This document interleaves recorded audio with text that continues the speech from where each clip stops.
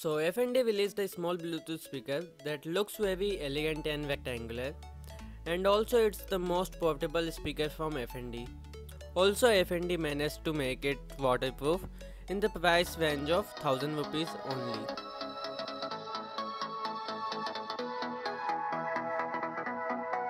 So this video will help you make a purchase decision.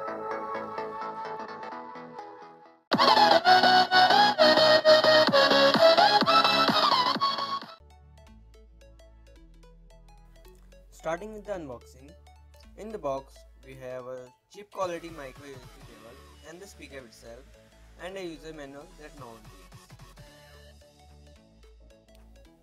Let's talk about the build. The dimension of the speaker is 3 by 3.5 inches and fits perfectly in my hand. At the front the speaker is covered in some kind of fabric and around the speaker is made of plastic that wrapped in a slightly grippy silicone. At the top we have power button, play pause, volume up and down and a call receiver button.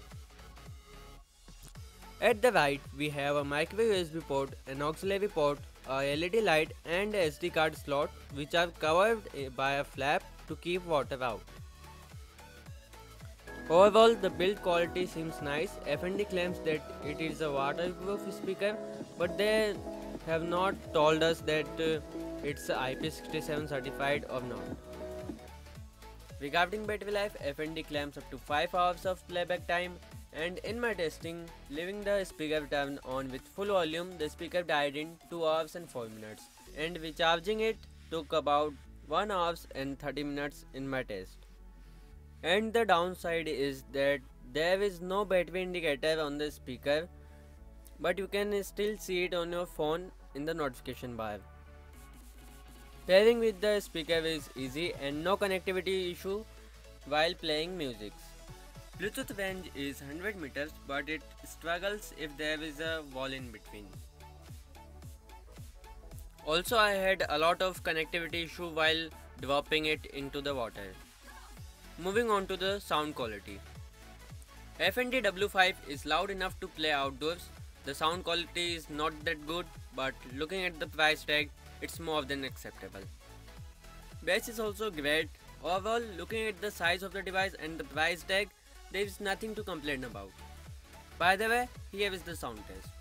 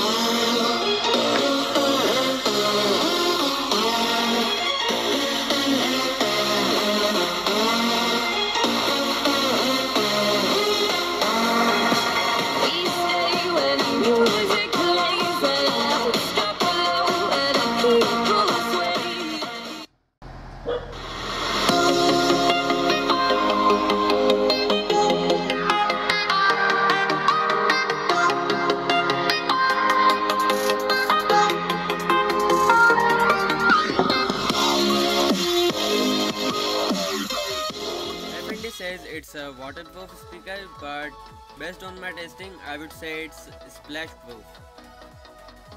And yes the water does get inside and the speaker cannot be connected or paired with any device until it completely dries. And for me it took about one and a half hours to completely dry the speaker and connect to the speaker again. After that, I had no issue with the connectivity. My overall experience with this speaker is that the speaker performed better than I expected. It cost only 1000 rupees and that's why I have to say this is the best Bluetooth speaker that you can get under 1000 rupees. By the way, here are the pros and cons.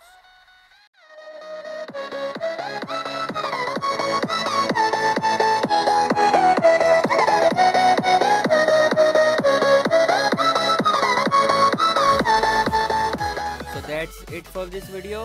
If you want to see more videos like this, hit that subscribe button down below.